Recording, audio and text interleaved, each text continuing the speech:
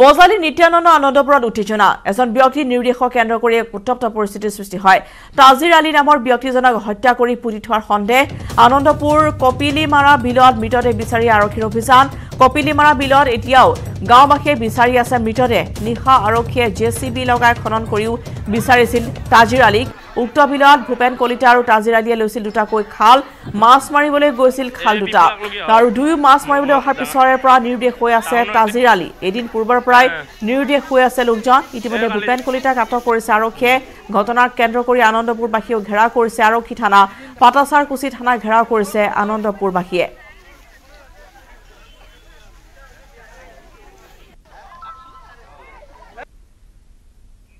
ভূমিকম্প টচনচ কৰা তুৰস্কৰ চিৰিয়াত সৃষ্টি হৈছে এক অভাৱনীয় পৰিস্থিতিৰ। এতিয়ালৈকে উদ্ধাৰ হৈছে ঊনত্ৰিছ হাজাৰ লোকৰ মৃতদেহ। সন্ধানহীন হৈছে হাজাৰ হাজাৰজন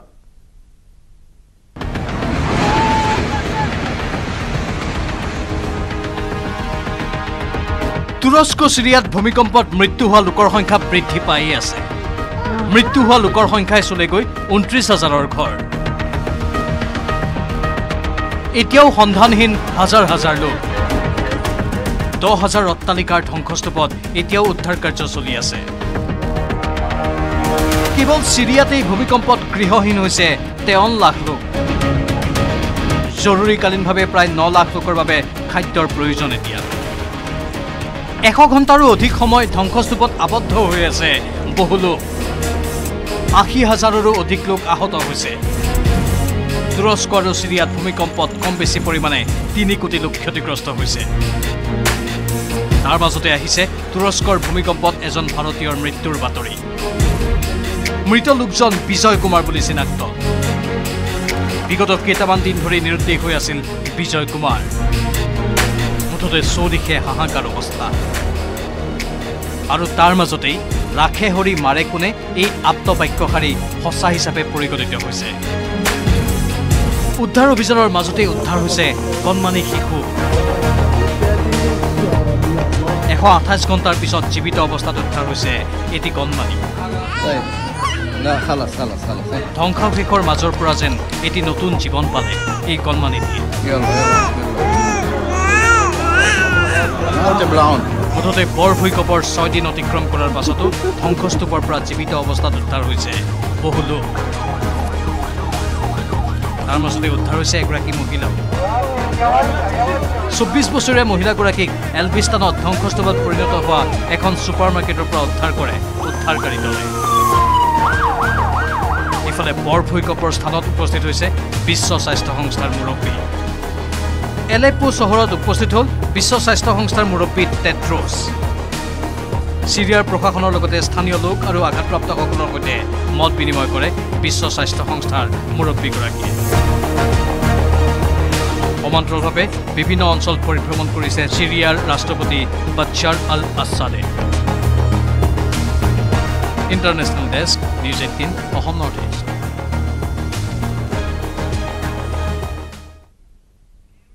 ঘৰুৱা কামত নিজ মাতৃক কিদৰে সহায় কৰিব সেয়াই আছিল এটি কণমানিৰ চিন্তাৰ উৎস।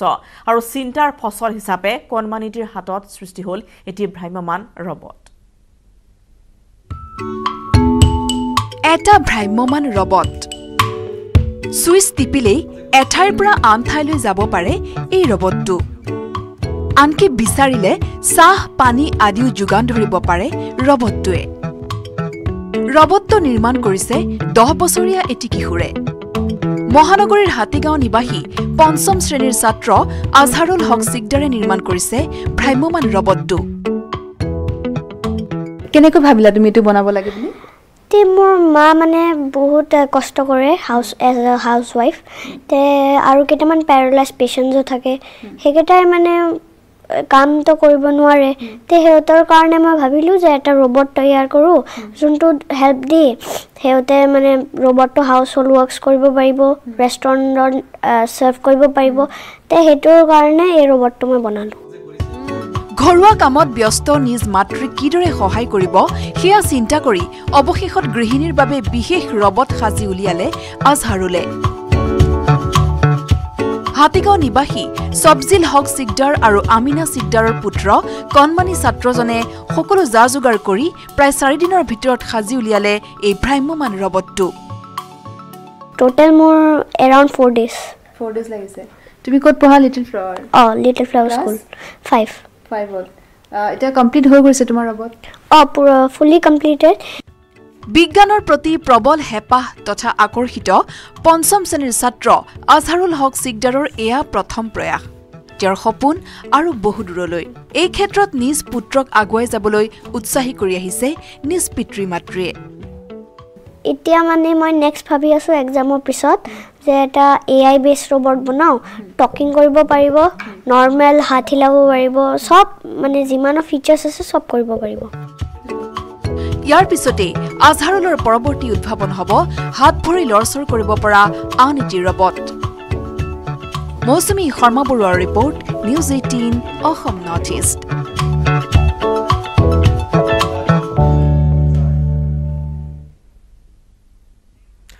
বাক্সাত আকৰ্ষণৰ কেন্দ্ৰবিন্দু হৈ পৰিছে এজোপা শিমলু গছ। শিমলুজোপাত বাঁহ সজা জাক জাক মৌ আৰু সহস্ৰাধিক বাদুলিৰ সহাৱস্থানে দৃষ্টি সৰিছে বাটৰুৱাৰ।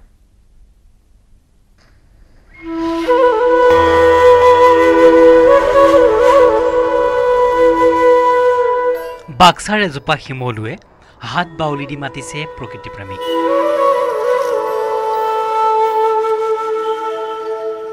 শিমলুজোপা হৈ পৰিছে বহু পৰ্যটকৰ বাবে আকৰ্ষণৰ কেন্দ্ৰবিন্দু। জাক জাক মৌৰ বাঁহ আৰু সহস্ৰাধিক বাদুলিৰ সহাৱস্থানে আকৰ্ষিত কৰিছে বাটৰুৱাক বাক্সাৰ জিলা সদৰ মুছলপুৰ সংযোগী পথৰ দাঁতিতে থকা এই শিমলুজোপাত জাক জাক মৌৱে বাঁহ লৈ থকাৰ সমান্তৰালকৈ সহাৱস্থান কৰিছে সহস্ৰাধিক বাদুলিয়ে। শিমলুৰ ৰঙা ফুল বাঁহে বাঁহে মৌ আৰু জাক জাক বাদুলি। এই সকলো সৌন্দৰ্যৰ উপাদানে সহাৱস্থান কৰিছে শিমলুজোপাত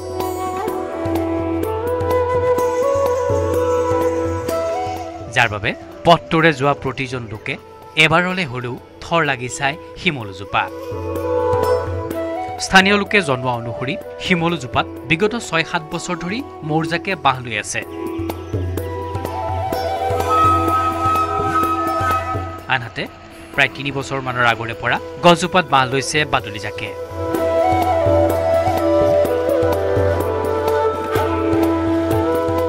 ইয়াতে এই বৰবৰী অঞ্চলৰ এই শিমলু গছৰ ইয়াতে মৌৰ বাঁহ ধুনীয়াকৈ এক এশ ডেৰশ মৌৰ বাঁহ মানে সুন্দৰকৈ মানে ইয়াতে বাঁহ কৰি আছে। আৰু এইপিনেদি অহা যোৱা কৰা মানুহবিলাক গোটেইবিলাকে ফটো তুলি লৈ যায় আৰু চাই খুব ভাল পায় আৰু। শিমলুৰ ৰঙা ফুলে এতিয়া গছজোপাক অধিক আকৰ্ষণীয় কৰি তুলিছে।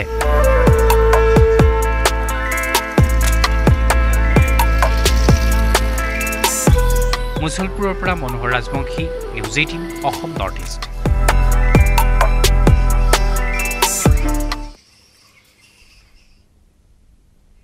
ইছলাম ধৰ্ম বাহিৰৰ পৰা আহিছে বুলি জনাটো আৰু কোৱাটো ভুল আৰু ভিত্তিহীন এই মন্তব্য জামিয়াত উলেমা হিন্দ এটা ফৈদৰ মুৰব্বী মহম্মদ মাদানীৰ তেওঁ লগতে কয় ভাৰতবৰ্ষ মুছলমানৰ প্ৰথমখন গৃহৰাষ্ট্ৰ মুছলমানৰ কাৰণে ভাৰতবৰ্ষত উৎকৃষ্ট স্থান বুলি মন্তব্য কৰিছে মেহমুদ মাদানীয়ে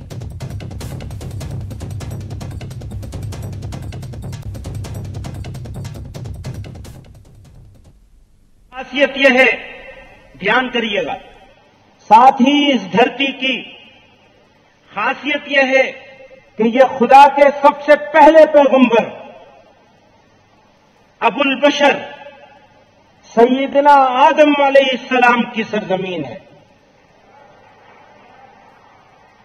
आप यही तशरीफ़ लाए।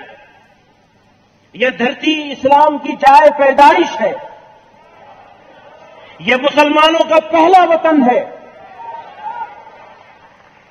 इसलिए यह कहना यह समझना और ये बोलना कि इस्लाम बाहर से आया हुआ कोई मज़हब है यह सरासर गलत और तारीखी एतबार से बेबुनियाद है। इस्लाम इसी मज- इसी मुल्क का मज़हब है। और सभी मजाहिब में, सारे धर्मों में, सारे रिलीजन में सबसे पुराना मज़हब है। सबसे कदीम और पुराना भी है। इस्लाम के आखिरी पैगंबर, हज़रत मोहम्मद सल्लल्लाहु अलैहि वसल्लम, इसी दीन को मुकम्मल करने के लिए तशरीफ़ लाए थे। इसलिए मैं वाज तौर से कहता हूँ कि भारत हिंदी मुसलमानों के लिए वतनी और दीनी दोनों हैसियतों से सबसे अच्छी जगह है। আনহাতে জমিয়তৰ আনটো ফৈদৰ মুৰব্বী মৌলানা অৰছদ মাদানীয়ে ওম আৰু আল্লাহ এক আছিল বুলি মন্তব্য কৰে তেওঁ কয় যে শিৱৰ পূৰ্বে মনুষ্যই ওমৰ উপাসনা কৰিছিল আৰু যাৰ আকাৰ নাই যি পৃথিৱী ৰচিছিল সেই ওমে মুছলমানসকলৰ আল্লাহ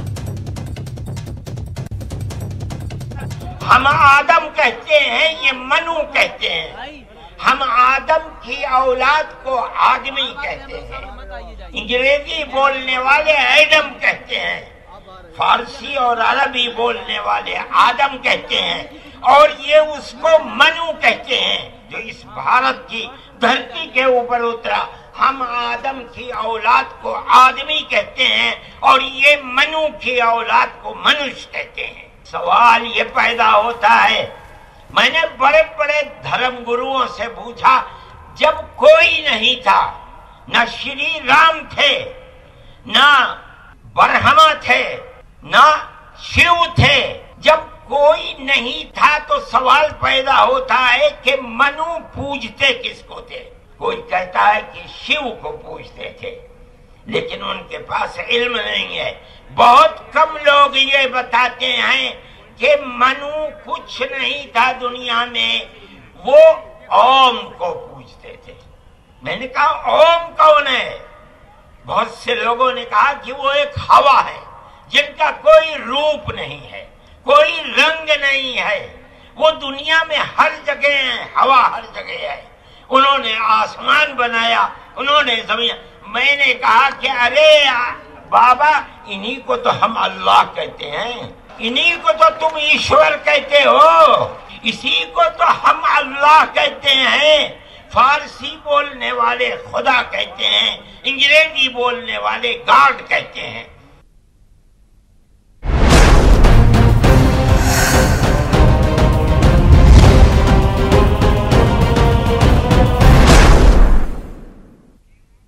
অফলে ত্ৰিপুৰাত কেন্দ্ৰীয় গৃহমন্ত্ৰী অমিত শ্বাহৰ ব্যাপক নিৰ্বাচনী প্ৰচাৰ অভিযান। আজি কেইবাখনো নিৰ্বাচনী সভাত অংশগ্ৰহণ কৰি বাওঁপন্থীক তীব্ৰ আক্ৰমণৰ লক্ষ্য কৰি লয় অমিত শ্বাহে। বিজেপিৰ হাততহে ত্ৰিপুৰা সুৰক্ষিত বুলি উদ্যাত ভাষণ প্ৰদান কৰি অমিত শ্বাহে পুনৰ বিজেপিক ভোট দিবলৈ আহ্বান জনায়। বিষ্ণুপ্ৰিয়া মণিপুৰী ভাষাক ত্ৰিপুৰাৰ বিদ্যালয়ত অন্তৰ্ভুক্ত কৰা হ'ব বুলি মন্তব্য কৰে অমিত শ্বাহে। উল্লেখযোগ্য যে কালি প্ৰধানমন্ত্ৰী নৰেন্দ্ৰ মোদীৰ পিছত আজি ত্ৰিপুৰাত নিৰ্বাচনী প্ৰচাৰ চলালে কেন্দ্ৰীয় গৃহমন্ত্ৰীগৰাকীয়ে। भगवान शिव की इस पवित्र भूमि पर आकर मैं आप सबको नमस्कार करना चाहता हूँ। मित्रों, यहाँ का नाम है ऊनाकोटी इसका मतलब है कि एक लाख में कुछ कम।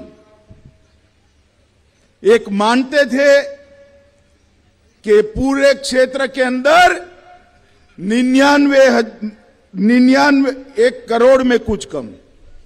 तो निन्यानवे लाख, निन्यानवे हज़ार नौ सौ निन्यानवे मूर्तियाँ है, इसीलिए एक क्षेत्र को उनाकूटे कहते हैं। और इसलिए सिर्फ़ त्रिपुरा नहीं, पूरे देश का ये पवित्र स्थान माना जाता है यहां पर टाटा बालाजी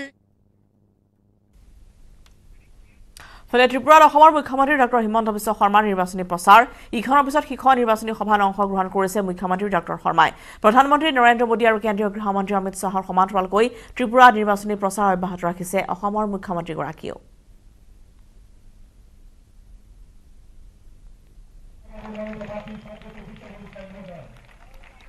আমি দেখুৱাইছোঁ এয়া নিৰ্বাচনী প্ৰচাৰ সভাত অংশগ্ৰহণ ত্ৰিপুৰাত অসমৰ মুখ্যমন্ত্ৰী হিমন্ত বিশ্ব শৰ্মাৰ প্ৰচাৰ অভিযান। অব্যাহত ৰখা হৈছে। ইখনৰ পিছত সিখনকৈ নিৰ্বাচনী প্ৰচাৰ সভাত অংশগ্ৰহণ কৰিছে অসমৰ মুখ্যমন্ত্ৰী ডঃ হিমন্ত বিশ্ব শৰ্মাই। প্ৰধানমন্ত্ৰী নৰেন্দ্ৰ মোদী আৰু কেন্দ্ৰীয় গৃহমন্ত্ৰী অমিত শ্বাহৰ সমান্তৰালকৈ ত্ৰিপুৰাত এনেদৰে নিৰ্বাচনী প্ৰচাৰ সভাত অব্যাহত ৰাখিছে। নিজৰ নিৰ্বাচনী প্ৰচাৰ অভিযান অসমৰ মুখ্যমন্ত্ৰীগৰাকীয়ে।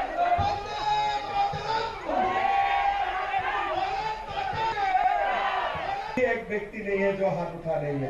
आप लोग को बहुत बहुत नमस्कार। मेरा बोलना नहीं है जल्द आज त्रिपुरा में बीजेपी का सरकार बना। पहले हमारा सामाजिक भत्ता सात सौ रुपया का था।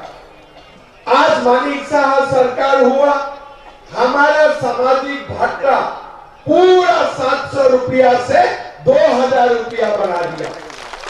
आज त्रिपुरा का चार लाख फैमिली को ये भत्ता मिलता है। सात सौ से तो सोलह सौ हो सकता था। कभी कभी स्कूल में लोग डबल प्रमोशन मिल जाता है। लेकिन मानिक शाह जी ने तो ट्रिपल प्रमोशन दे दिया। सात लाख से डायरेक्ट सात हज़ार से डायरेक्टली दो हज़ार कर दिया। तीन गुना बढ़ा दिया। त्रिपुरा में जो भी घर में बेटी का जन्म होगा, और बेटी का नाम में हम लोग एक पचास हज़ार रुपया का फिक्स डिपॉजिट बना के दे दूँगा और वही फिक्स डिपॉजिट आप 16 साल का बाद आप तोड़ेगा लड़की का बेटी का हमारा शिक्षा के लिए और पैसा का उपयोग कर, करेगा। आप देख सकता है इतना बड़ा सिद्धांत हमने लिया हो किसके लिए? त्रिपुरा प्रदेश का विकास के लिए। তুংগত উঠিছে মেঘালয় বিধানসভা নিৰ্বাচনৰ প্ৰচাৰ সভা। বিজেপিৰ পিছত এইবাৰ তৃণমূল কংগ্ৰেছে অসমৰ ভূমিত অসমীয়াতে মেঘালয়ৰ নিৰ্বাচনী প্ৰচাৰ অভিযান চলায়। হেলিকপ্টাৰ লৈ নিৰ্বাচনী প্ৰচাৰ সভাত অংশগ্ৰহণ মুকুল চাংমাৰ। অসমৰ ভূমিত মেঘালয় নিৰ্বাচনৰ বাবে তৃণমূল কংগ্ৰেছে প্ৰদৰ্শন কৰিলে শক্তি। মেঘালয়ৰ প্ৰাক্তন মুখ্যমন্ত্ৰী মুকুল চাংমাৰ নেতৃত্বত মেঘালয়বাসীয়ে এইবাৰ নতুনত্ব বিচাৰিছে। এন পি পি আৰু বিজেপিক চেলেঞ্জ দি মুকুল চাংমাই চৰকাৰ গঠন কৰিব বুলি হুংকাৰ দিলে। মাত্ৰ এবছৰ পূৰ্বে মেঘালয়ৰ তৃণমূল কংগ্ৰেছ আৰম্ভ হৈছিল। জনতাৰ সেৱা কৰাৰ বাবে সাংবিধানিক নিয়ম হিচাপে তৃণমূল কংগ্ৰেছৰ জৰিয়তেই তেওঁ চৰকাৰ গঠন কৰিব বিচাৰিছে বুলিও মন্তব্য কৰে। বিগত সময়ছোৱাত এন পি পি চৰকাৰখনে মেঘালয়ৰ বাবে কেইবাটাও বদনাম অনা বুলি কৈ সেই বদনামসমূহ তেওঁ মচি পেলোৱাৰ চেষ্টা চলাব বুলিও কয়। আনহাতে ৰাজ্যখনৰ তিনি লাখ যুৱক যুৱতীক চাকৰি দিব বুলি প্ৰতিশ্ৰুতি দি বিভিন্ন ধৰণে পৰিয়ালসমূহক আৰ্থিক সকাহ দিয়াৰো প্ৰতিশ্ৰুতি দিয়ে। সেইটো ইণ্টাৰেষ্টিং এতিয়া ইয়াত বেলেগৰ লগত কণ্টেষ্ট হা?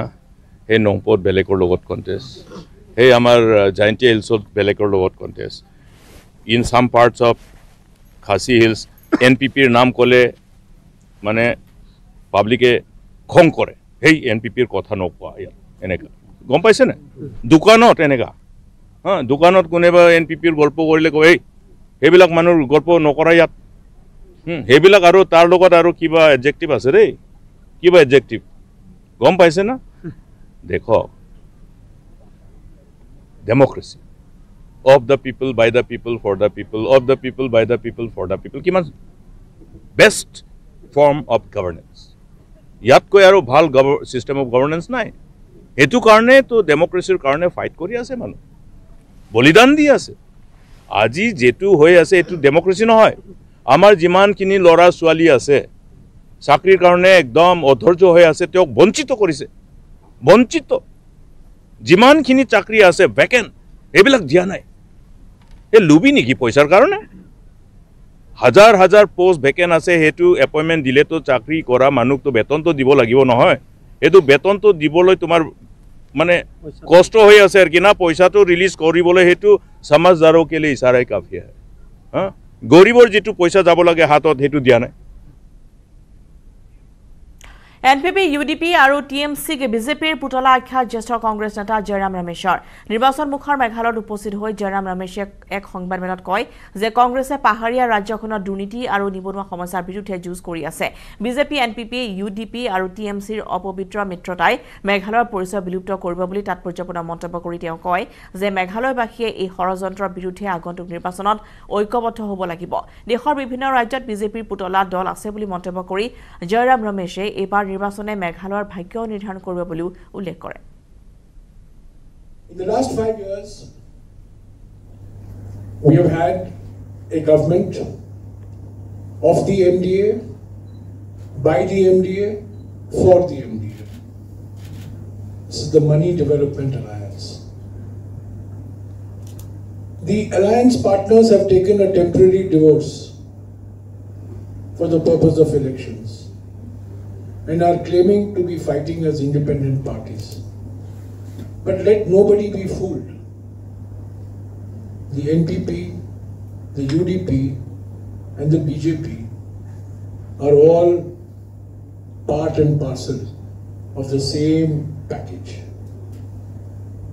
So the first fight that the Congress is fighting in this election is a fight against corruption.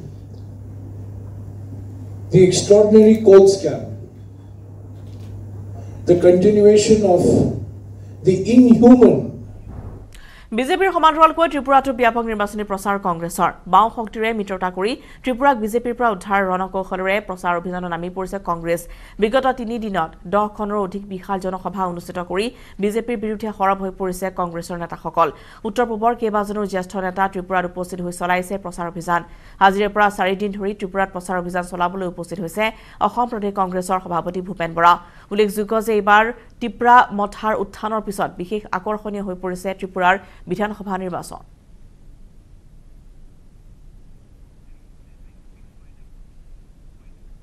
আৰু ইয়াৰ লগতে সমস্যা প্ৰাইম টাইম এইটিনৰ পৰা এতিয়া বিদায় লোৱা নমস্কাৰ কেৱল ষ্ট্ৰং নহয়